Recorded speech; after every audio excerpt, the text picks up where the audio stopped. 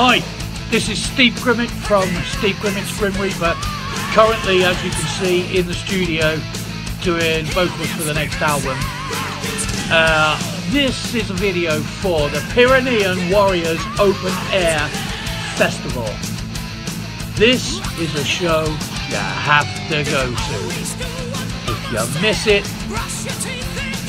at your peril be it. Be sure we are coming to kick your ass.